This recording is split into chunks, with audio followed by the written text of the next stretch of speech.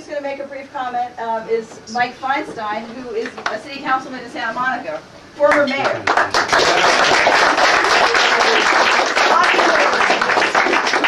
Hi, everybody. Um, I want to show you a poster here. I just came back. I was one of about uh, 10 U.S. Greens who was at the founding of the European Green Party. And we are all familiar that we've had Green parties in Europe for many years. They just took the parties across the continent because they have the European Parliament elections in June. There's both the 15 existing EU countries and then the 10 new countries from the east and the south that are joining the EU. And what we're doing now in Europe is actually going to have not only a common platform across 25 countries, but people are going to be campaigning across national borders, sharing resources, hmm. etc. It's the first party that's doing that and trying to promote integration along solidarity, economic justice, environmental sustainability, those sort of things, and making a party um, across borders to do that sort of thing is what the, what the Europeans are, are, are, doing. It was very exciting, and there were not only people there from uh, the United States, but from all over the planet, which is a um, kind of another marker about how we're a global movement. We're, as a political party, as an electoral force, we're in over 90 countries around the world. And what that says is that there's something very endemic in terms of a green response to the unsustainability of our lifestyle as a species across cultural lines. We have cultural challenges in individual countries, uh, our own different political systems and how we develop, but there's something that's even deeper. It's not just a national response, but it's something that is planetary-wide. It's critical, of course, to have a planetary-wide approach because a lot of our issues are planetary-wide and a lot of the forces that are behind some of the problems we have for example, some of the multinational transnationals are global in nature. So really, on a global level, we're probably the best electoral hope to complement those movements like we saw in Cancun or Seattle or Genoa, etc. Um, so it, it's very exciting just in houses like this, it's happening all over the planet. And I was one of the people who was fortunate in the 1980s to be at some of those early founding meetings. And we struggled with whether or not we could be part of the electoral system, keep our values, and still be effective. And in the early years, we were really afraid to run anybody for office. If we did that, it would corrupt ourselves. We wouldn't be able to hold it. We'd be part of the system. We'd lose our vision, etc. And we moved very slowly. But over the years, I think what we found is that we can participate in the system, keep a long-term vision, and be productive incrementally on a day-to-day -day basis. There were there was really nobody who was famous, big, wealthy, or anything else when the party was started. But we kind of went with the belief system that if we had a platform, we stood for it, we did the right thing, that we would attract people of talent over the years. And that has borne out. The diversity of the party has increased, the talent level of the party has increased, the notoriety um, has increased. Uh, before uh, Ralph Nader was on the Donahue show in February of 1996, we didn't have five cumulative minutes of being mentioned on national TV in our entire history. Now, you know, grade school kids, when they're asked about which political parties and what they're interested in, part of that um, is the Green Party, and people are conscious of it. That's a, a, massive shift in a very short time in a country that is not friendly to alternative viewpoints. How it relates to our, our presentation today is one of the things that we hope that would happen in our evolution is that we would attract people of talent by doing the right thing. And we are so blessed that somebody like Matt, who, you know, he wasn't a green originally, he was just out there doing the good stuff that kind of was in sync with our platform.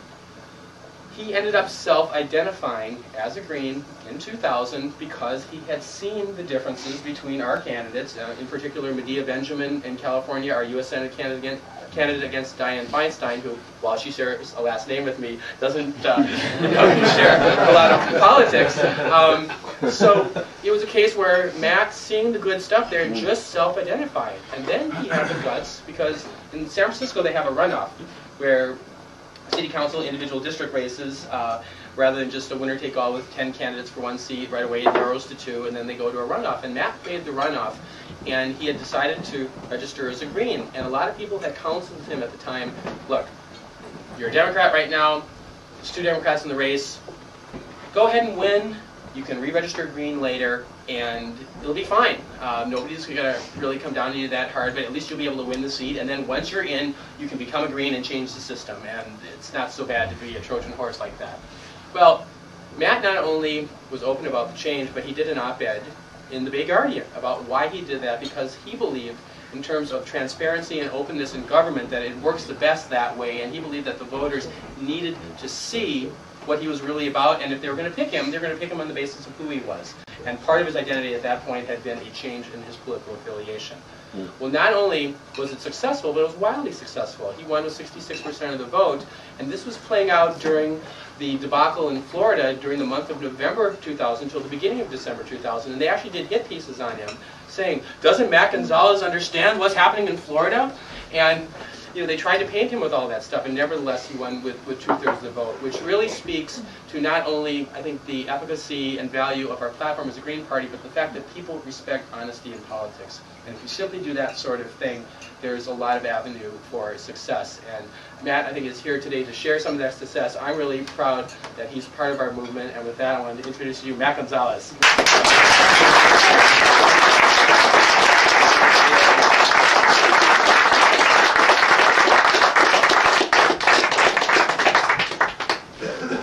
Got into my uh, first political race in 1999. I had been working as a public defender for many years, and I got into a race for district attorney. And there's a fellow who writes for the San Francisco Chronicle. He's a very conservative writer who likes to prop up all the wrong people and all the wrong things. His name's Ken Garcia. And at the time I was running, he said something about me. He thought it was an insult, but I took it um, as a compliment. He said that in another era, I would have been in the socialist circle of Eugene Debs. I just remember it because I sort of feel that Debs's circle would have been something like this. What I, I feel is a community that Kevin and Linda have really put together. There are a lot of really great progressives here, and I haven't, uh, in many years, been in a place where so many people were talking good politics at a level of discourse that you know you generally just don't get to hear. So thanks for creating uh, Eugene morning. Um, I, I think that what we tried to do in the last mayor's race in San Francisco is extraordinary for its sheer simplicity. Um, you know, I got into the political race and basically um, tried to tell the truth and tried to run an ethical campaign. And we worked off of the assumption that San Francisco was fundamentally a progressive city. We rejected the idea that once you get into a runoff, you're supposed to moderate your views and water them down so that you can appeal to the middle. And we did the opposite. We said, look, here we are, here's where we stand on the progressive issues. We believe in these ideas because we think they're the right ones. We think our ideas are better. And rather than sell them short, let's go out and try to persuade people that we're right. And uh, let's just tell people the way it is. In the course of that campaign, it meant that we took some pretty good progressive uh, positions on everything from, you know, promoting renewable energy, tidal energy, solar energy, to talking about progressive taxation, uh, to even opposing uh, extremely popular measure related to funding for the public schools. Uh, opposition based on the fact that it was essentially an election time measure that was being brought to the voters to make a particular candidate popular, when the truth was no monies had been identified for this measure. Uh, there was no revenue source, and so we were saying, well, this money, you know, to come up with this money, it's going to have to compete with public health and public safety and all these other things, and that's not a responsible way to do government. Let's identify the money, and then let's dedicate it to the schools. The um, I got into the race and, you know, did not have very wide support, quite frankly. Um, I had one of my colleagues on the Board of Supervisors, uh, a very progressive Democrat named Chris Daly, who endorsed me. And I was endorsed by um, really just a couple of newspapers. I was endorsed by the uh, preeminent African American newspaper, uh, the Bayview newspaper. Willie and Mary Ratcliff run out of the Bayview. I was endorsed by uh, a socialist newspaper that publishes infrequently uh, called Frontlines, and I was endorsed by an online journal called the San Francisco Sentinel. Um, this is hardly the kind of support that somebody that makes it into a runoff generally has. And so I think that what happened was a, a, an immediate shock. The idea that a green with uh, a city with 3% registered green could garner 19% of the vote and land into a runoff. And um, it was something that we were not altogether prepared for. We had, uh, I had gotten into the race relatively late uh, on the day of the filing deadline. We ran a campaign for less than 100 days. We raised and spent the least of the six major candidates, um, you know, $150,000. And there we were the next day after the runoff with no money in the bank, trying to figure out how we were going to mount uh, and finish off this campaign. It was complicated by the fact that the Democrats were really circling the wagon. And it's interesting that when they criticize our presidential candidates like Ralph Nader and others, they often say, oh, you have to start locally. Forget this national stuff. And here we were trying to win a local race, and they were not saying, hey, you know, good luck to you on a local level. they were doing everything they could to undermine. And they weren't doing it on substance. They weren't doing it because of the positions that I took. They were doing it strictly on partisan grounds. And despite all of those efforts, at the end of the day, uh, the evidence is that uh, I won the vote among Democrats in San Francisco. The only reason my opponent was elected was ultimately that the Republicans favored him by a margin of 80% to 20%.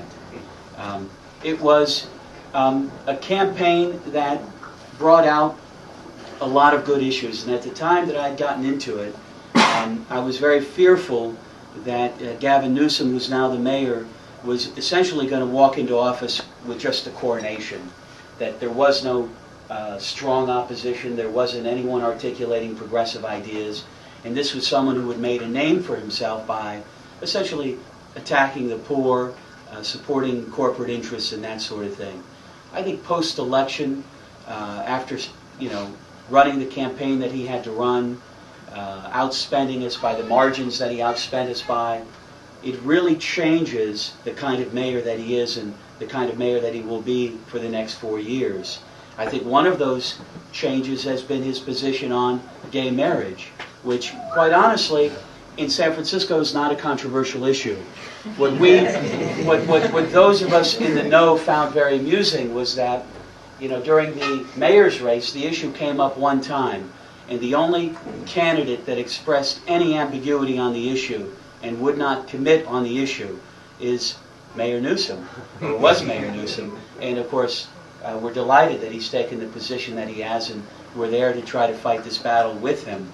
But it's, it's worth saying, or at least uh, feeling a certain degree of um, being somewhat proud over the fact that we help create a condition where somebody has to move to the left to try to take away or try to, you know, shore up their support for a future election. And if that's what it is that we accomplish, I, I want to say there were a couple of things that did uh, distress me about this campaign as I reflect on it. And I think that we should all be very concerned about uh, being in a democracy where, you know, frankly, we sit around and say, well, if this candidate for mayor had had a million more dollars, he would have won. Uh, there's something just kind of ugly about that. And I think that it really, um, if anything, underscores the need for real public financing of campaigns. And uh, I, I don't think it's accidental that the efforts at creating, you know, clean elections throughout this country are often undermined by the parties that have you know, very safe majorities. And I think one of the states, if I'm not mistaken, that passed a clean election law, I think it was Massachusetts, um, you know, that law was repealed by a legislature with a voice vote in a legislature that has a majority of Democrats in it. And I say that because I just think there's a real problem there. And I think that that is related to a crisis in our democracy as it relates to the whole idea of a Green Party candidate for president spoiling an election. And I spoke about this last night, and I want to say a few things about it because um, I, I, I hate to see how this whole issue resonates with the American public. There is this idea that Nader cost the election, and I'm willing to concede that. That's right, Nader cost the election for Gore in Florida. But what nobody wants to talk about is what the Democrats have done or not done about that problem for the last three years. That's right. And, you know, the distressing thing is that the Democrats haven't taken the steps that they need to take in order to change uh, really 19th century method of voting, which is that you can win all the electoral votes in a state without getting a majority of the votes there. Now, I don't know, but if you're sitting around trying to come up with a solution to this problem that cost a party the presidency, you would think that the solution that we would come to would not be to tell a third party or to tell an entire, you know, thousands of people that they can't vote for the candidate they prefer. The solution ought to be, well, let's make it so that you can't win all the votes in Florida without winning a majority. And so, because that solution is so simple, it makes you reflect on why that hasn't been a priority for the Democrats. Yeah. And I think that that's because the Democrats have benefited from the spoiler effect. They benefited in 1992 when Ross Perot won 19% of the vote. Exit polling showed that three quarters of that, if not more, of his votes would have gone to George Bush Sr. And Bill Clinton won the presidency with 43% of the vote. And that is why the Democrats have not spent three years trying to fix this problem. Now, I think that, uh, you know, I want George Bush out of the White House, um, but I don't want the solution to be, um, you know, to raise a problem that I'm going to have to confront every four years. Because four years from now, uh, if, you know, John Kerry is the president and there's a Republican running against him, everybody's going to tell me I can't vote for the Green that time either because the Republican is so bad and remember George Bush. I mean, at some point, I want the Democratic leadership to step up and tell me, under their correction, their, their theory on how to fix the spoiler problem, I want them to tell me when I get to vote for the candidate I want to vote for. That's right. I mean,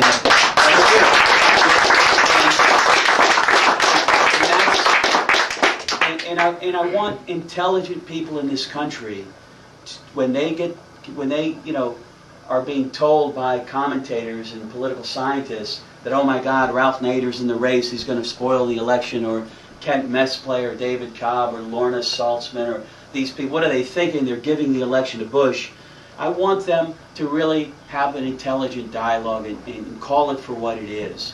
You know, why haven't the other parties fixed this problem? They've been in control of Congress for the entire 20th century. Clearly, this is a problem that we can fix. Um, I want to just uh, say that in California, we've had some great successes, and we continue to, to fight a lot of battles. We've had mayors in many cities, including Santa Monica, where Mike Feinstein was mayor. We've had mayors in Menlo Park, in Santa Cruz, in Sebastopol, in Arcata. We've had green majorities on city councils in Arcata, I believe, in Sebastopol, and I think we had a school board majority in one of those cities.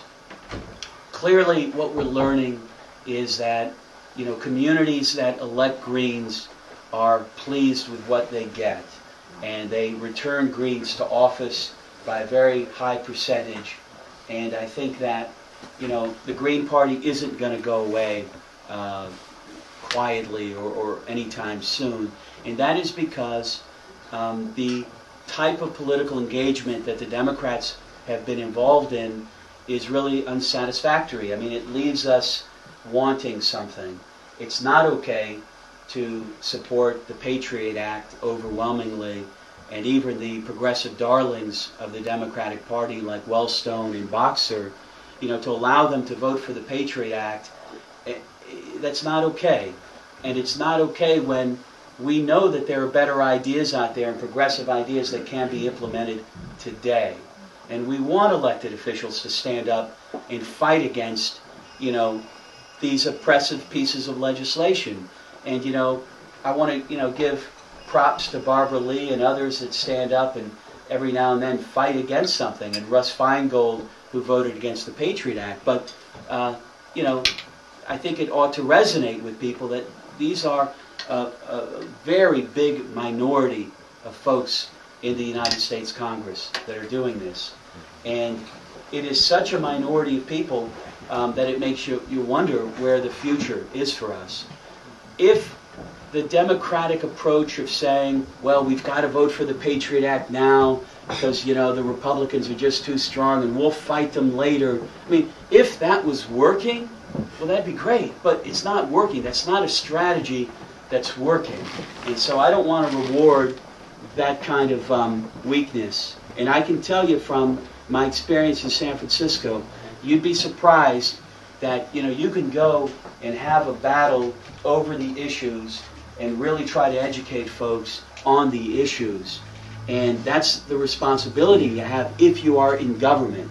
The responsibility is not that you sign on to a piece of legislation that hasn't been publicly vetted and, and passed one of the most oppressive, you know, statutes in our country's history you know, in less than a month period because you're scared to be identified a certain way.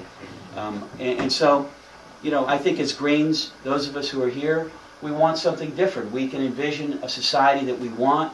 We want to get to live in it. You know, I'm 38 years old. I don't want this for my, you know, children and their children and their children. I want it for myself. And, you know, I'm intelligent enough to know that it's conceivable and it's practical and it can be implemented. And so, you know, for the Democrats that are here and those that work with Democrats, you know, you have a responsibility to really put them on their heels and say, listen, what are you doing to fix this problem? And, you know, let's, uh, let's move in that direction. So, thank you so much for having me.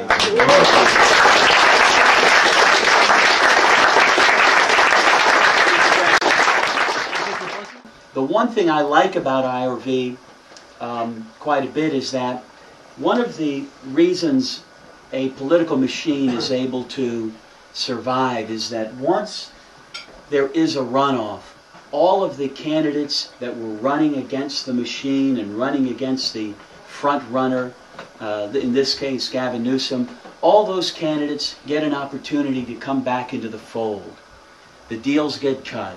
And suddenly, all these people who were saying things about him that I would never say, uh, they were just making him out to be the worst human being out there, suddenly are standing next to him, endorsing him, letting everybody know he's the best mm-hmm. candidate in the race. And that can't happen with IRV because if you have to reveal to your supporters at that moment that you're running that you know the hack candidate is your second choice, well, that says something about who you are, and you wouldn't get a lot of first place votes. If, if we had more people like him and you that were, were truly warm people from the heart, I, I think we could build movements quicker. Because a lot of people who do politics, for I don't know why, seem to be a little cold, and it turns a lot of people off. I often am criticized because I'm more of the cold variety that you're that you're describing.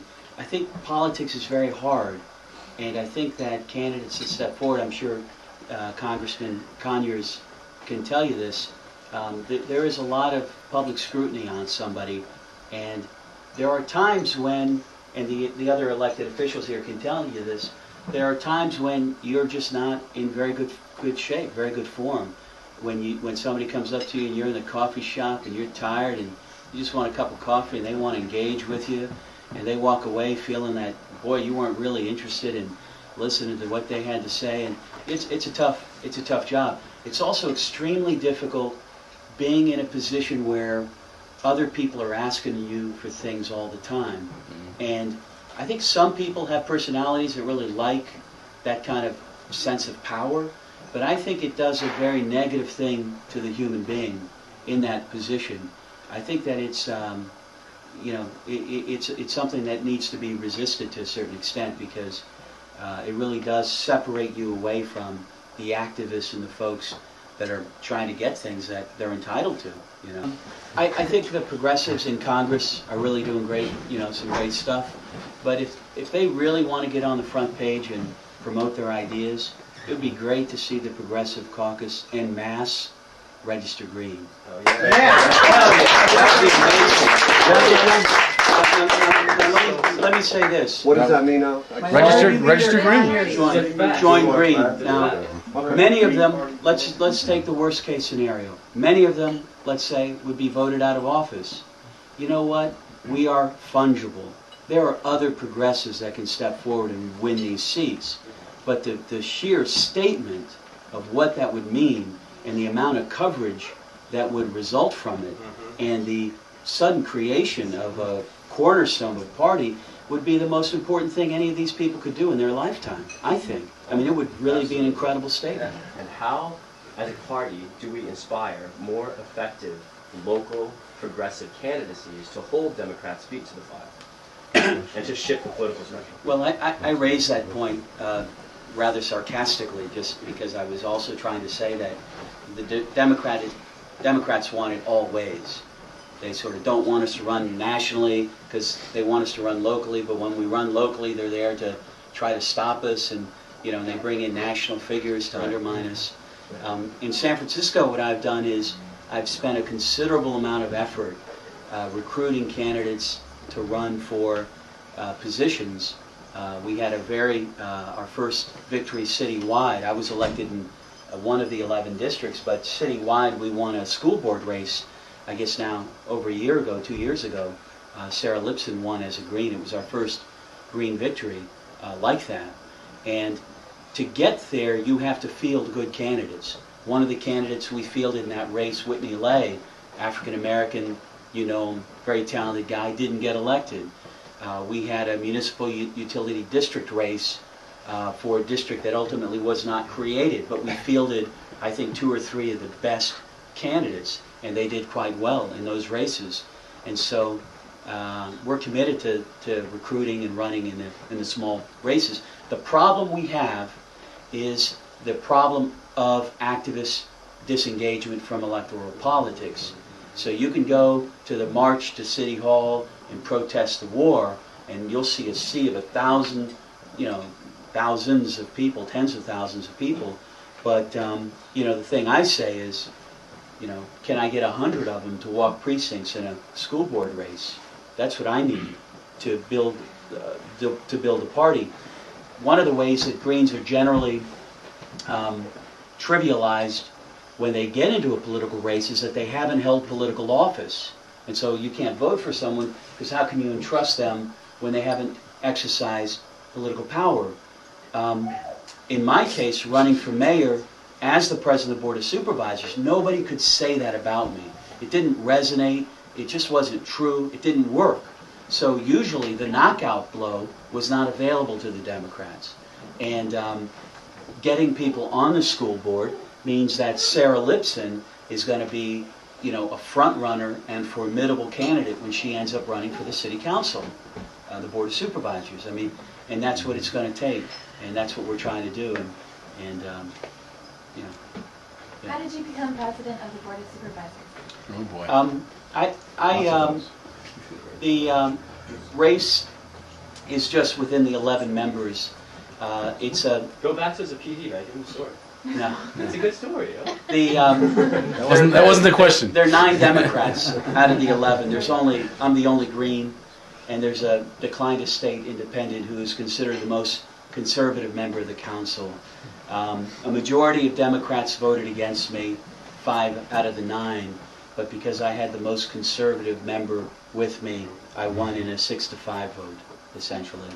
And I think that that has uh, resonated in some of the more conservative communities in San Francisco because they have a sense of, you know, I may be extremely progressive and they may disagree with me on many of my ideas, but there is a sort of uh, disinclination and refusal to abuse political process to get my little advantage and win something at the expense of a, expense of a more open, transparent process. And so I think that's been important, that the Green president has uh, performed in that way and, and won the confidence of some very conservative people. Yeah. Can you talk more about how you go about recruiting candidates? Yeah, um, I think that it is a combination of finding people that want to run and finding people who have a good personality to run and will withstand public scrutiny, but also people that are comfortable with other people and care about ideas and want to engage. I think it's less important sort of what somebody does for a living and that sort of thing, and more important that they're good at what they do. You know, I mean, if you are a landscape, whatever, doing work in your lawns or whatever, if you're good at it, that's more important than anything else. You don't have to be a lawyer to run. You don't have to be a certain, you know, typical category. That's what I have found. Um, uh, for school board races, it's obviously extremely helpful to be a school teacher because the ballot designation is how most uninformed voters will vote. And that's why we think Sarah was elected uh, to that seat. Yeah. The, um, you know, in San Francisco, and I'm glad you asked that because I wanted to say that the sort of left-right of the political spectrum, I don't think is the way it's perceived on a national level. Are, you know, determinations of things like gay marriage or the Patriot Act or the death penalty, these sorts of things, are, are not really widely disputed in San Francisco. Um, the left-right of the spectrum is about, um, you know, taxation. It's about class differences. It's about where you're going to prioritize city money. And it's on that spectrum that a mayor like Newsom and a representative like Pelosi, uh, you know, earn criticism because they ultimately are working for many of the downtown interests that are trying to stop a more progressive agenda uh, that, that, that, that progressives in the Green Party, et cetera, want to implement. Um, I think she uh, what, lacked courage when she voted for the Patriot Act. I think it was wrong for her to vote whatever that support the troop resolution was. It kind of gave, uh, had some very strong language supporting the commander in chief. Um, you know, leadership brings responsibilities. And it's not okay to say, oh, I'm the leader, I got to go with everybody else. No, you're the leader to not go with everybody else. They're supposed to follow you. If you're going to. If you're going to raise a ton of money, you know, and prop up other Democrats, well, then you should be able to get those Democrats to follow you, you know, when it really counts. And those are votes that really count, I think. Yeah. Yeah, Matt, uh, following on the question about the Board of Supervisors, I was wondering what the impact of the mayoral election has been. How- How's, the- has there been fallout, good or bad or both? Uh, and what have you found about for your agenda, for a progressive agenda, your strong run for mayor? What's the effect been in your work in the city council? I think that, that there has been some fallout. Uh, Mayor Newsom recently took the gay marriage issue and uh, promoted it in a mail piece, a hit piece against the Democratic County Central Committee members who had supported me instead of him. And so he presented to the voters this idea that he's fighting this important civil rights battle. He needs Democrats that support Democrats. And uh, he targeted the ones that don't support Democrats. The suggestion was heavy that they were supporting Republicans. He didn't say, hey, these are the ones that supported Matt Gonzalez. Fortunately, they were able to survive the hits and they were reelected. So I think it was an early test that he does not have the coattails that uh, some feared he might have, particularly on a popular issue like that. Uh, for myself on the Board of Supervisors, I've been trying to resist what often happens after a political race where you're suddenly the, the front of you know this emerging progressive movement in San Francisco or wherever it is. I, I've been resisting being seen as like the leader of the left in that town. There really are others in that city that have um, you know done great progressive work and continue to do that work. So I prefer kind of the decentralized approach, uh, and I have um, tried to communicate in more subtle ways that, you know, this isn't going to be a Newsom versus Gonzalez thing forever. You know, that uh, there are others, Tom Ammiano, Chris Daly, Jeff Adachi, you know, who are out there doing important stuff and, you know. And I think it's important that you have a, a wider net of leadership because, as I was saying, I think to Kevin and Linda last night, you know, a lot of people see what happened in San Francisco as this sort of sleeping giant awakening, this progressive movement awakening.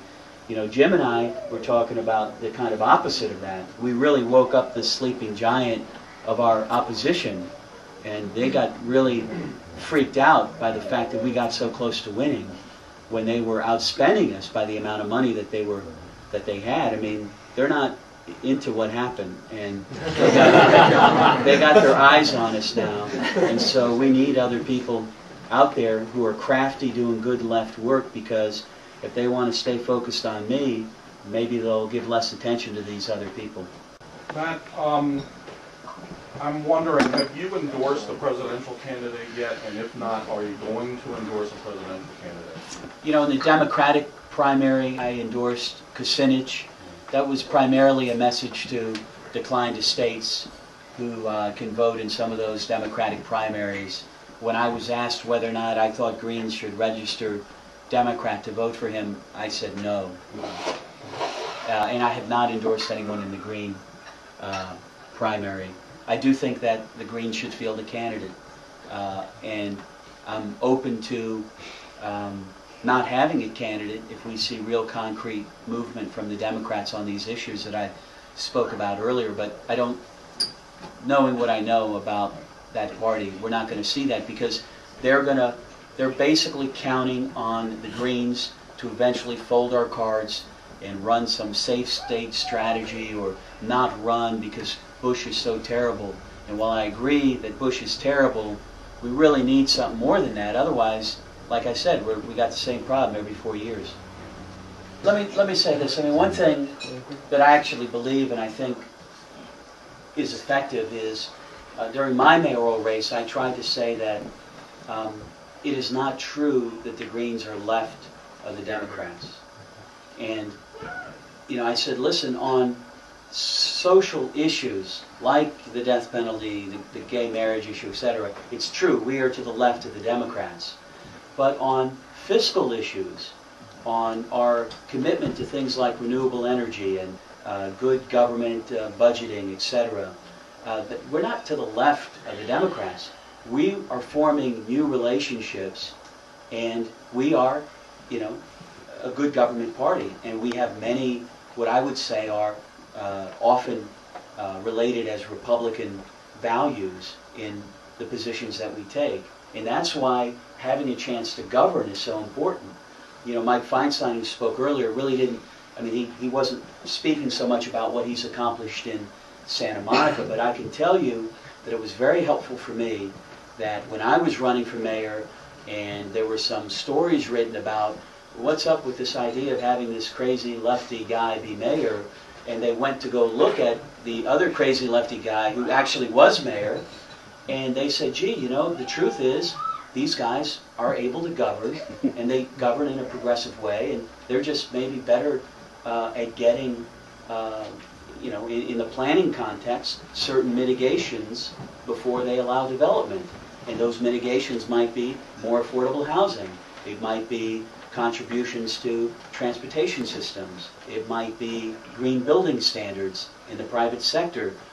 This is important stuff, and and uh, I just think pitching the Green Party in that way at least can allow some of the Republicans who are very turned off by even George Bush's lack of fiscal accountability, you know, to start looking elsewhere perhaps. I think Nader's really one of the progressive giants of, you know, the, the, certainly the 20th century, and he's continued to do important work recently.